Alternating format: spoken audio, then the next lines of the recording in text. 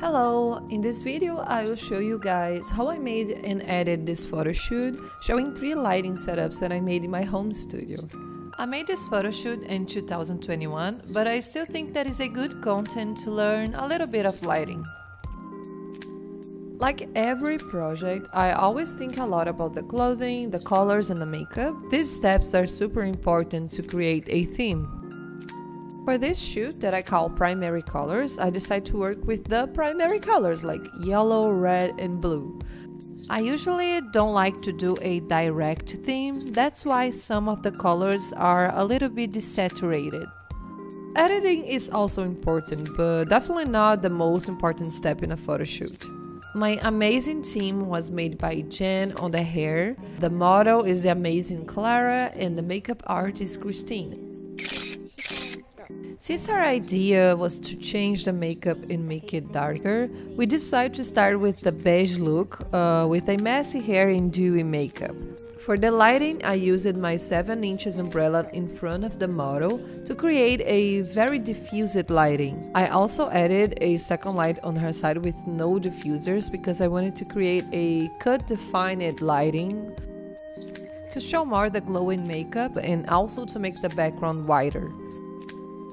Here are the results and by the end of the video I will show you how I edited these images. For the second look, we decided to create a graphic eyeliner with wet baby hairs and I was absolutely in love with the look. And this setup is super simple. I just used a frontal strobe light with uh, a snoot to create a dramatic focal light. And here are the results. That day was beautiful, so we decided to go out and do some photos outdoors.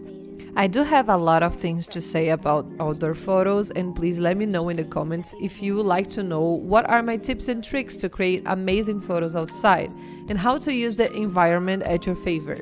But just to explain real quick, the sun was not facing the model. The sun is bouncing in a window in front of her. So this is a good way to having the harsh and direct sunlight but in a very balanced way. This is a comparison with and without using the window as a reflector. So my quick tip for now is find the light.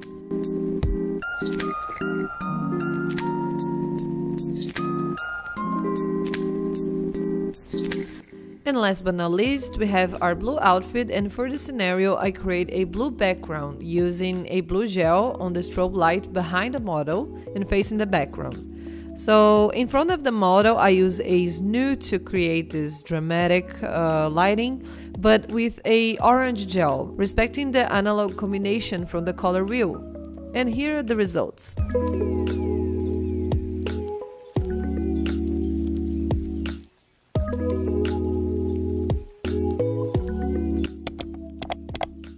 On Lightroom, I changed the color profile to Faithful, apply the lens correction, and correct the exposure of the photos. In Photoshop, I start using the patch tool to correct some details of the skin. And please don't forget to always duplicate your original image by pressing Ctrl J.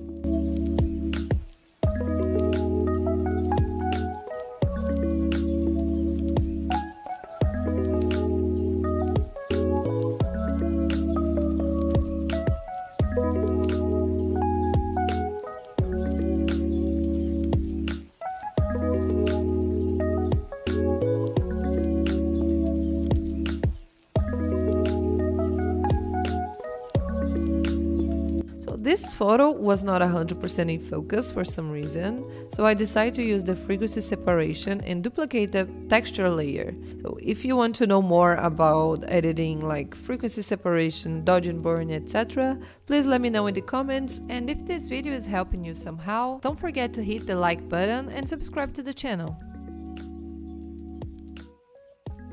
I do have some tricks to keep the image natural, even using frequency separation. That is known to be a very dramatic editing tool and also very easy to lose control of the editing and let the skin with a fake aspect. Now with the dodging burning, I finished the skin editing, matching the tones of the skin and making it more even.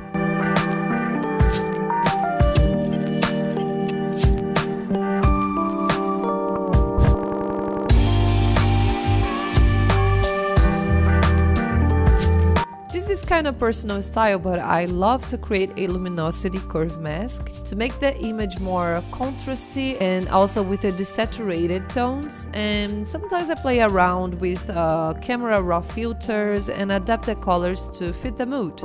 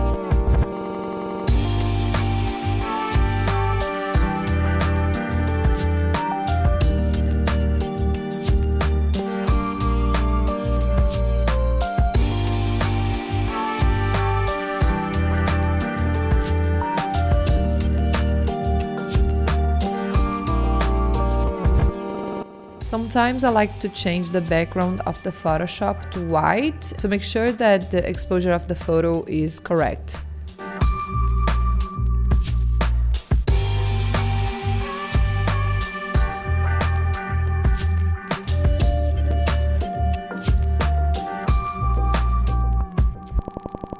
In this photo, I love the color of the filter that I choose, but I didn't want to mess up with the texture. So that's why I changed the mode of the layer of the filter to colors. So it only affects the colors of the image and not the texture.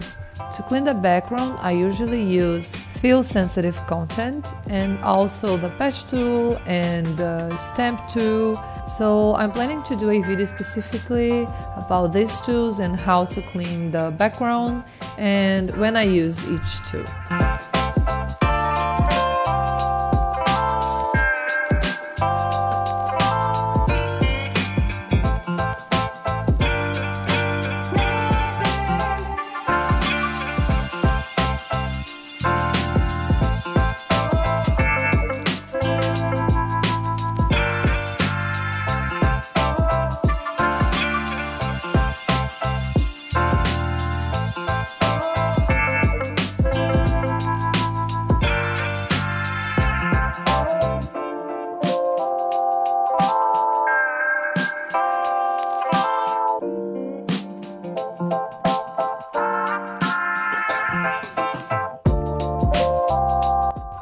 So thank you so much for all of you guys that watched until now. I hope you guys enjoyed the video and please let me know uh, any ideas that you want to see here and if you want to to see more about those vlogs and how I edit those images and yeah, stay safe.